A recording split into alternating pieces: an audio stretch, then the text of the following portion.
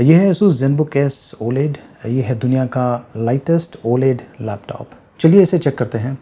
देखते रहिए। इस लैपटॉप की मैं अनबॉक्सिंग कर लेता हूँ।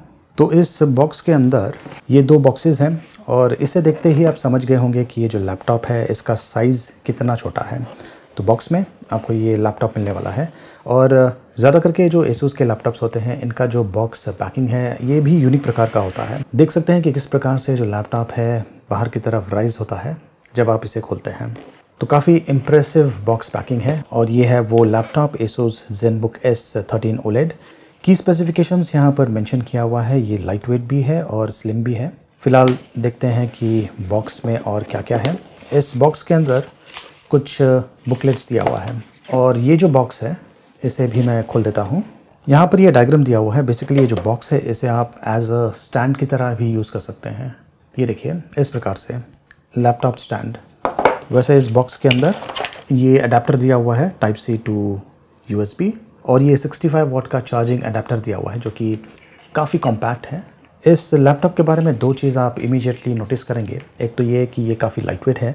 इसका वज़न तकरीबन वन के के आसपास है और ये 14.9 mm स्लिम प्रोफ़ाइल में पैक किया हुआ है। राइट हैंड साइड पर ये है कॉम्बो ऑडियो जैक और यहाँ पर दो टाइप सी पोर्ट दिया हुआ है। इंडिकेटर्स हैं और ये देखिए जो हेंज मैकेनिज़्म है, ये भी काफ़ी अलग टाइप का है। और लेफ़्ट हैंड साइड पर कूलिंग वेंट्स और यहाँ पर भी एक टाइप सी पोर्ट दिया हुआ है। मैग्नीशियम एल्यूमिनियम एलॉय यूनिबॉडी है, जो बिल्ड ऑफ़ फिनिशिंग है, बहुत ही बढ़िया है टफ टाइप का है।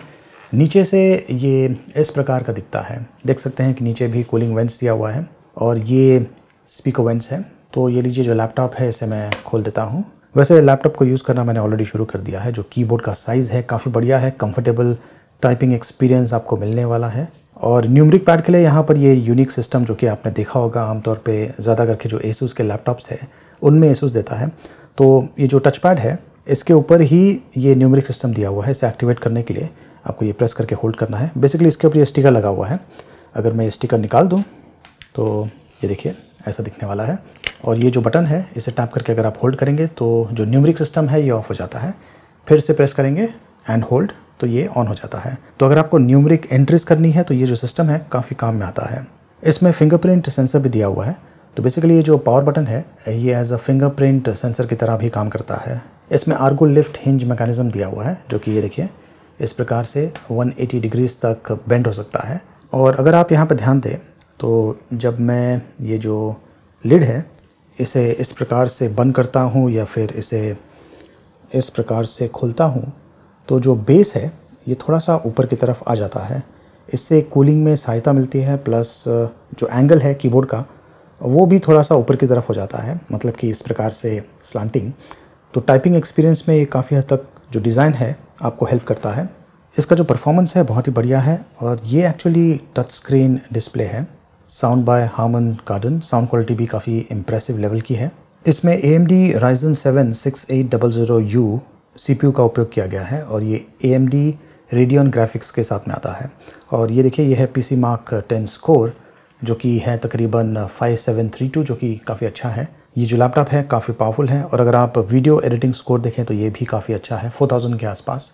अब ये जो स्कोर है, इससे आपको आइडिया मिल गया होगा कि ये जो लैपटॉप है, इसे आप वीडियो एडिटिंग के लिए डेफिनेटली यूज़ कर सकेंगे। फोर वीडियो ये आसानी से एडिट कर पाएगा। वैसे आपको हो सकता है कि प्रॉक्सी क्रिएट करना पड़े, लेकिन on the move video editing के लिए ये काफ़ी बढ़िया लैपटॉप है। तो ये दुनिया का लाइटेस्ट 13.3 इंचेस का 2.8 के डिस्प्ले वाला लैपटॉप है। ये OLED nano edge touch screen के साथ में आता है। रिस्पॉन्स टाइम काफ़ी बढ़िया है 0.2 पॉइंट का। और इसका जो पीक ब्राइटनेस है, ये है 550 नेट्स विंडोज़ 11 प्रो रन कर रहा है आउट ऑफ़ द बॉक्स ये वन टी स्टोरेज स्पेस के साथ में आता है और sixteen G B L P double D R five RAM दिया हुआ है। वाईफाई सिक्स ई सपोर्ट करता है और ये एसूज एंटी बैक्टीरियल गार्ड के साथ में भी आता है। इसमें कैमरा भी दिया हुआ है, जो कि बहुत ही इंपॉर्टेंट है।